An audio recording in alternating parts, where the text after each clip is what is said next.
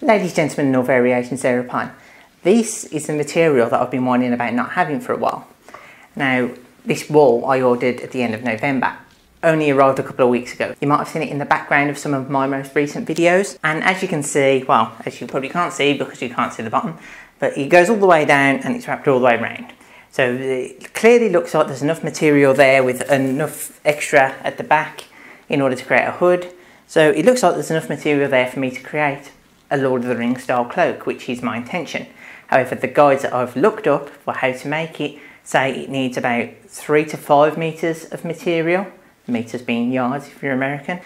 Um, this is only two meters because wool is expensive, so I only brought two meters of it. I do have a green cotton lining material that I'm also going to use, and that's also two meters. So when it comes to using this, I've not got much wiggle room with it. So I'm going to have to use it as sparingly as I can, uh, try and be as efficient as possible, and use basically all the material I've got, I think, in order to try and create this. I've only got a couple of days to do it, so let's just crack on. So without further ado, floor goblin mode, activate! Mm.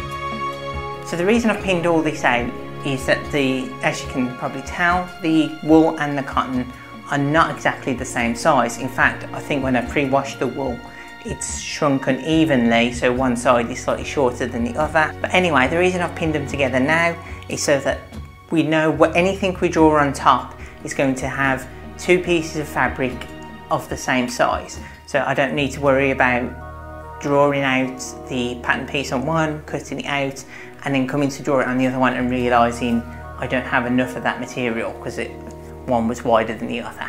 And because they're pre-washed, hopefully shouldn't shrink anymore. If they do, it should be minimal. So tape measure ready. Let's get the tailor's chalk and mark out exactly where we're going to cut. To avoid putting a hole in my measuring tape, what I've decided to do instead is to measure out a length of string and I'm using that to measure the length of the cloak. As for the length you need to measure out, we need to make sure it's as long as the cloak is going to be against our body, plus the length that you're going to cut out for the neck hole. Okay, so this is what I've got. Um, I've only marked this roughly on with the tailor's chalk because I want to get an idea of how it's going to fit. And as you can see, it looks like the two cloak panels are going to fit on. The issue is when it comes to the hood, this is a hood I've mocked up and it's not quite fitting on. Now, I did leave a little bit of extra room so it's got an overhang at the front, um, which technically I could do away with, but I even taking that out, I don't think I'm going to have enough. Um, but this material down here in this area is going to be scrap anyway if I don't do the hood. So I might as well cut out the cloak panels, which are under there. Cut out these two cloak panels, and then I'll just see what kind of hood I can make out of this section. If I can't make a good hood, then it's just going to be a case of I'll have to order another half meter of the material, of each of the materials, which is annoying as I'll have to wait for it before I can finish it and upload the video, but it might be what I have to do. So let's mark these out in more permanent straighter lines and then I'll get to cutting.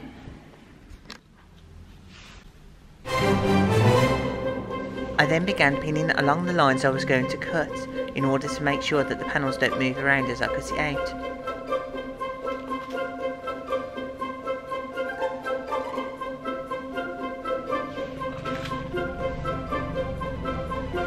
But then I noticed something.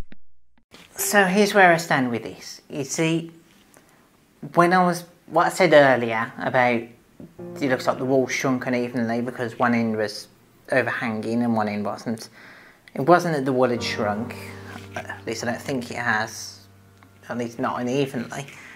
I, I think I've pinned it wrong when I pinned the two pieces together to make sure that they, um, when I cut them out, they're going to be exactly the same.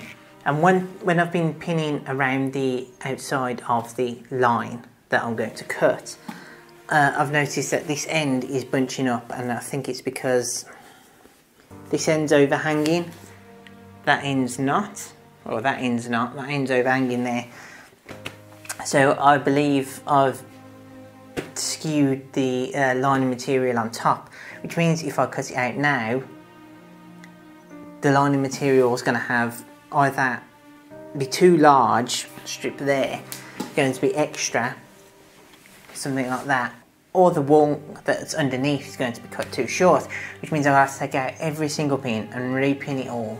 And after my last sewing project didn't work out, it's really knocked my confidence with it, so I'm determined to try and get this right, get it done right, and with the hood not working as well, there's a part of me that just wants to go, let's just forget about doing this project now. Make, make videos about other things, something simple. So the question is now, what do I do? Do I leave it? Do I persevere?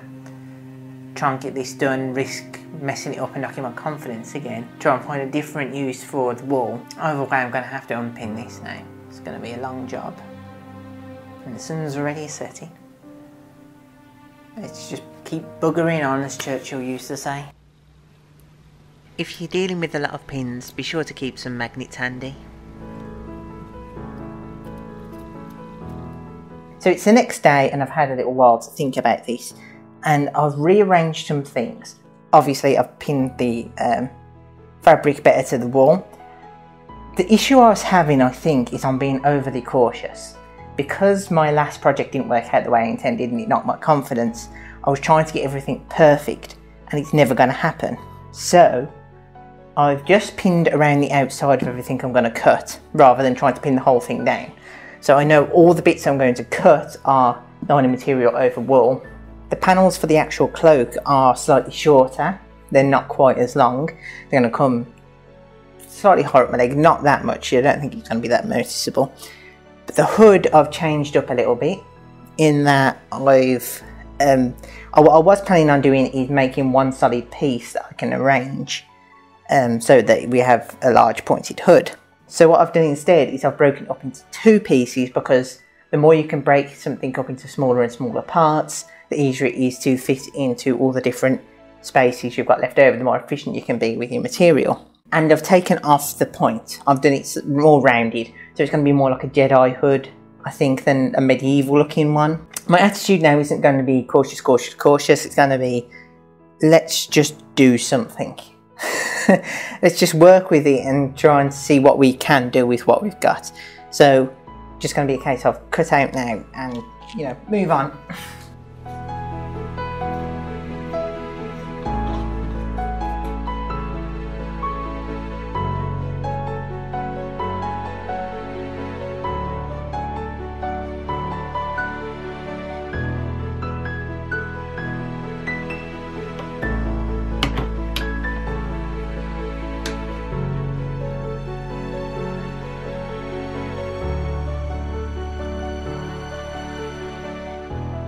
The first thing we need to do is to sew the panels together, both of the cloak and of the hood. Here I'm doing the hood and it's the outside. What we need to do is to place the fabric right sides together. This fabric doesn't really have a right side and a wrong side, but if yours does, place it right sides together and then sew the panels together, ensuring that you can leave enough room for about a 1cm seam allowance, or possibly 2 depending on how much material you had.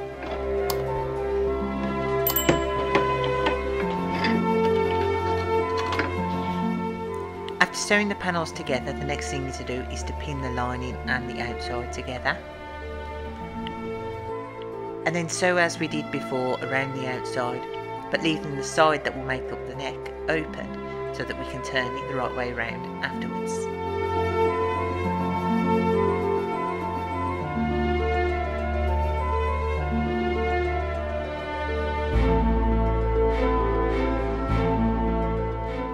We essentially do the same thing with the cloak itself. We sew the panels together, then pin the lining to the outer layer. Then we sew them together, starting at the neck and moving around the outside until we reach the neck on the other side. When we come to a corner, make sure that the needle is all the way down. Raise up the foot and spin the material around 90 degrees, then keep going.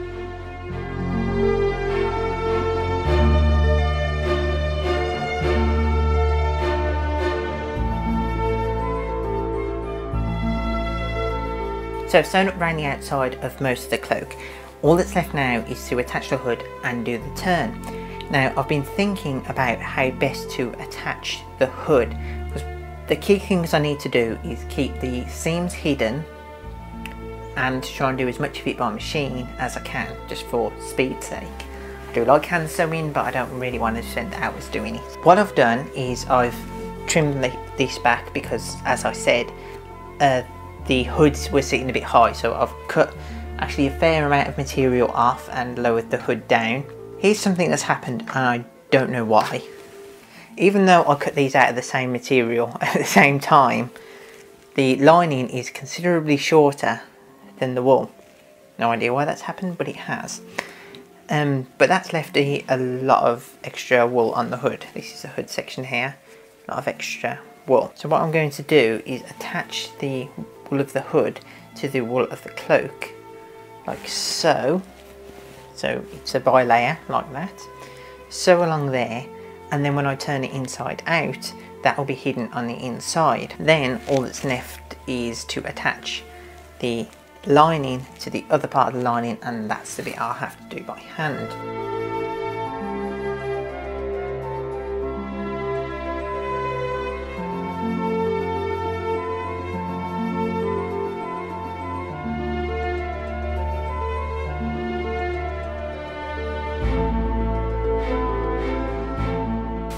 And now for the turn. Stop the hood, that's easy.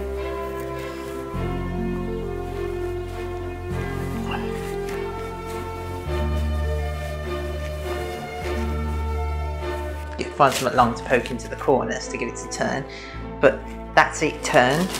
All I've got to do now is uh, sew up by hand the final seam on the hood uh, which if I could find my little scissors I would start doing so I don't want to be cutting thread with my massive shears um, around here somewhere.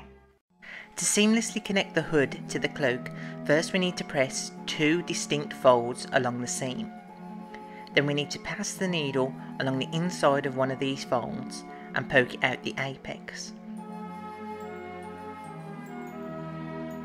Then pass the needle directly over to the apex of the other fold and pass it through to the inside.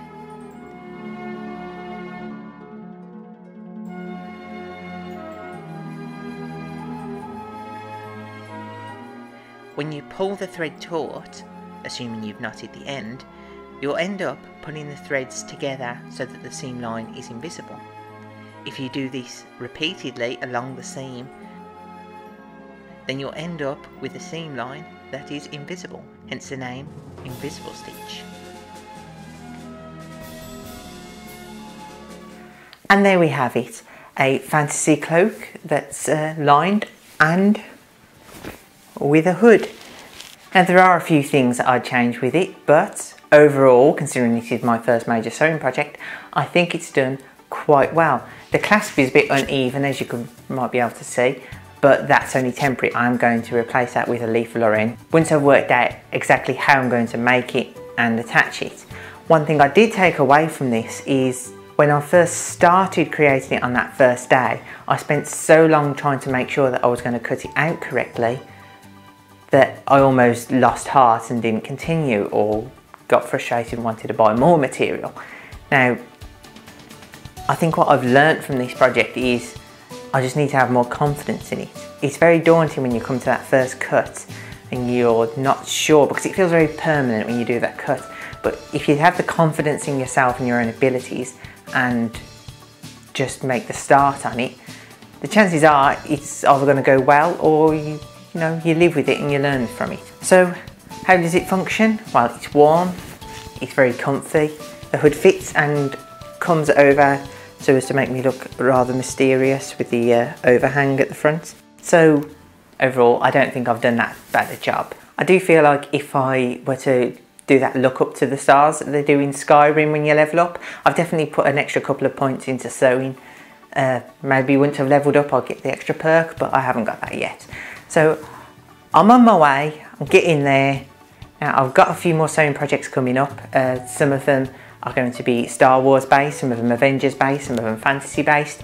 So if you're in that to that sort of nerd culture and you want to do some sewing, some cosplay, then uh, give us a subscribe and I'll see you in the next video.